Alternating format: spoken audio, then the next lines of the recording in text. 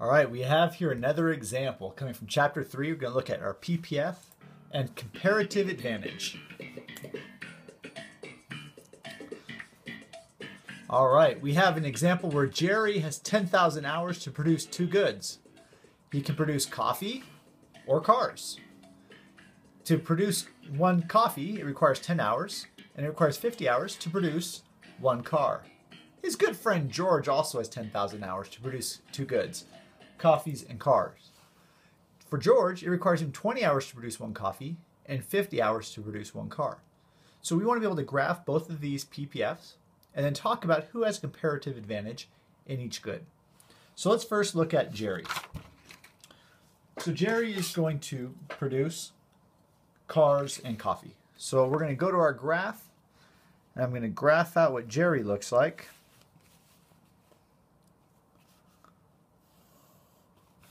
Okay, so not the straightest lines. So here's Jerry. I'm going to put coffee on my y-axis, just because that's what I'm going to do, and cars on my x-axis. Those can be switched. The solutions will change just slightly in terms of the numbers, but not the actual answer of who has comparative advantage. So if Jerry has 10,000 hours, and he dedicates all of those hours to producing coffee. So for him to produce one coffee requires 10 hours. So I divide that by 10, and he can produce, if he dedicates all of his resources to coffee, 1,000 cups of coffee. So I'm going to put 1,000 up there. He also has 10,000 hours. And if he were to dedicate all of those towards cars, it takes him 50 hours per car. So that would mean we get 10,000 divided by 50, and that would leave us with 200 cars. So I'm going to take that 1,000, bring that line right about there. So he can produce 200 cars. And that's Jerry's PPF. And I can draw the equation for that in y, equal, y equals mx plus b by saying coffee equals the slope of the line, remember, is rise over run.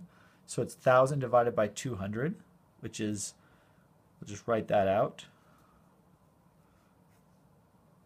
that's negative 5, times cars, plus our y-intercept, which is 1,000.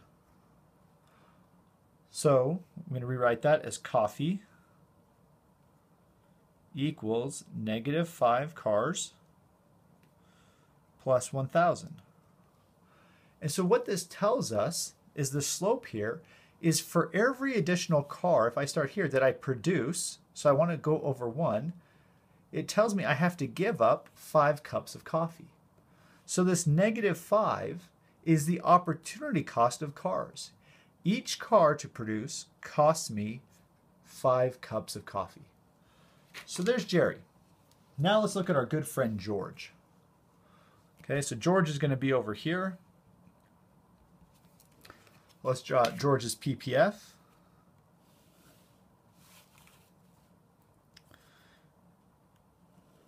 I'm going to have the axes match, so my y-axis is coffee. My x-axis is cars.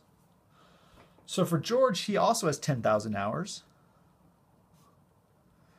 And if he were to dedicate all of his hours to producing coffee, it'd take him 20 hours to produce one cup of coffee.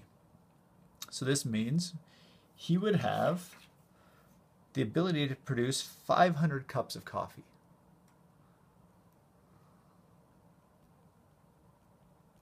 So that's our first point, and we'll try to draw it a little more to scale. So here's 500. And if you dedicate all of his hours to cars, it also costs him 50 hours to produce a car. So he could produce 200 cars. So we take that 500,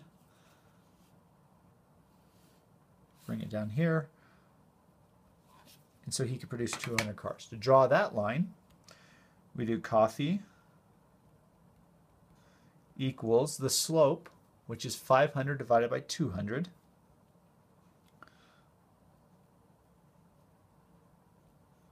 The negative out in front, because it's decreasing, times cars, plus 500.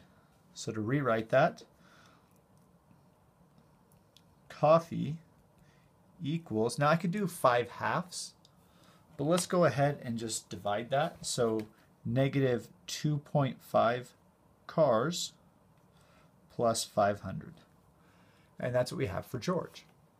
And now the question is, well, what's the opportunity cost for George? So for every car that George produces, it's going to cost him two and a half cars. So the opportunity cost for Jerry is five. So let's write this. Opportunity cost, and this is in terms of cars, is equal to five. But for George, the opportunity cost for cars is 2.5. So who can produce cars more efficiently? Who has the comparative advantage in producing cars? Well, in this case, George Costanza is the winner.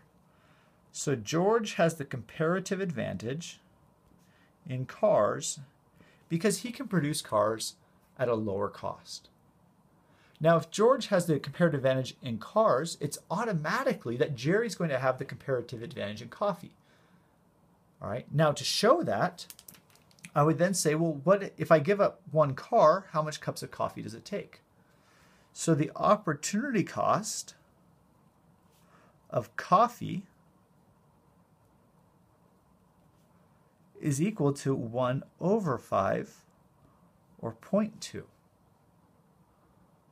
Now the opportunity cost of coffee for George